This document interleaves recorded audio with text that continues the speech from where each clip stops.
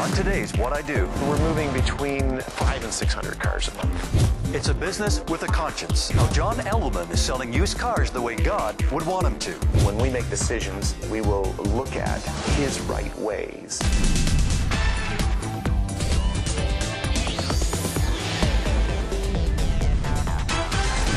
Welcome to What I Do, the show that celebrates your workplace calling. John Edelman's not your ordinary salesman. He owns the largest used car dealership in the country and proves God and business go hand in hand. I am John Edelman, and this is what I do.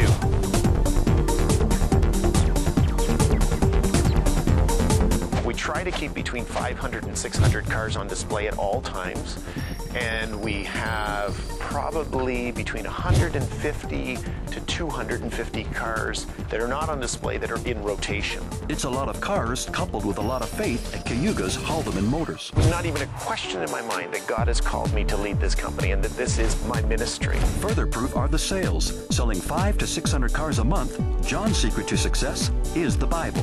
The core values are based on biblical principles. Um, and I always use the scripture seek ye first the kingdom of God and his righteousness. And when we make decisions, we will look at his right ways and make decisions based on how we're going to set up a system. What that means for John's employees is a rewarding workplace with no turnover. We've created a bonus structure that as the salesman does better, my mechanic does better.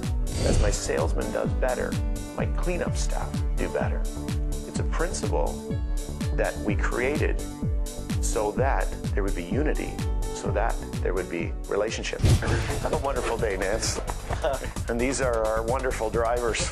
She's an amazing person. She, she makes sure everybody's working all the time. So I've been here for just over eight years, and I uh, really find it a fabulous place to work.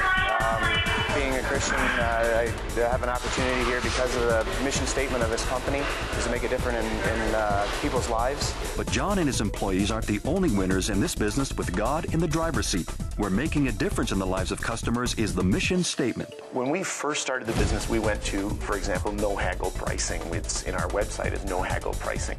I lost a lot of customers at the beginning. But as customers began to realize that your yes is your yes, your no is your no, which is again a biblical principle, they started to trust that. We believe that that integrity has to come from management down. We have to create the right principles.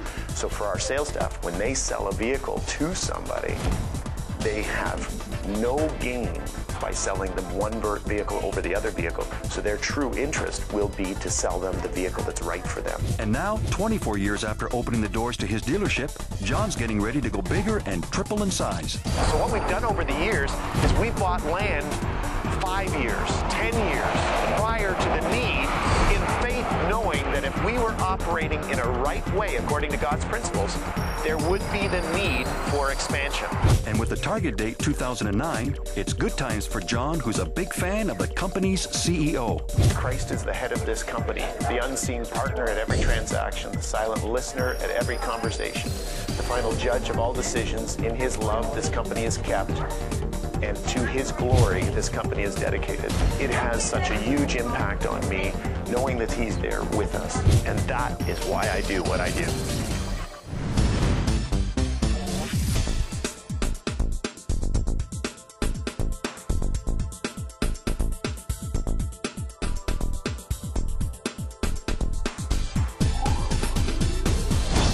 Did you know buying a car is the second largest purchase in most people's lives? Next to buying a house?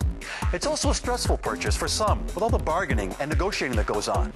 So we want to know, do you prefer John's practice of no haggle pricing?